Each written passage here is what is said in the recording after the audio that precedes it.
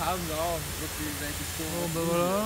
Vous découvrez en même temps que moi, donc ça a été un peu galère pour trouver. Donc si vous voulez chercher, allez euh, taper dans Google Maps River King.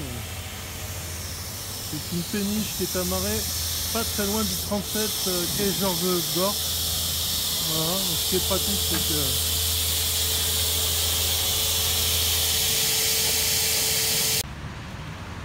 Donc voilà les amis la sonotion. J'espère que vous pouvez voir l'espace du coffre. Donc en fait,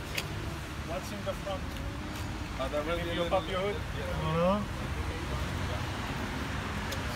Donc la motorisation est arrière.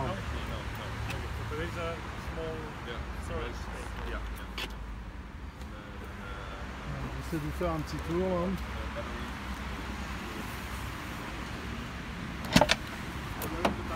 Bon, assez spacieux tout de même. hein.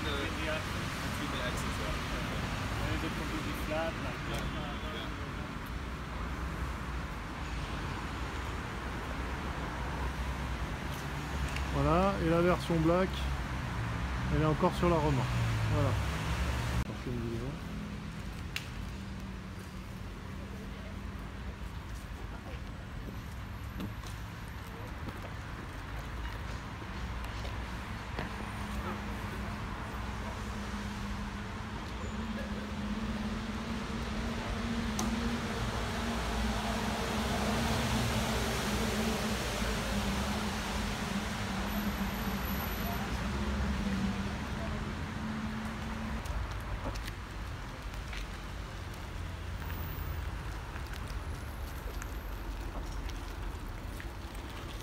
Moi, une petite réflexion, ça me fait penser à la Blue au tout début, sauf que ça n'a rien à voir avec la Blue. C'est beaucoup plus spacieux. Euh, on voit clairement que l'argent est mis dans, la motorisation, les batteries, euh, les roues. Après, quand vous regardez les garnitures intérieures, bah là, vous vous retrouvez un peu dans, pour ceux qui ont connu la, la. Donc euh, là, normalement, ils ont levé 1,5 million d'euros.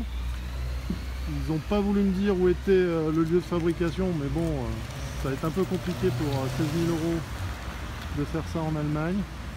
Donc ça doit être certainement dans les pays limitrophes euh, comme la République tchèque ou la Slovaquie. Faut voir.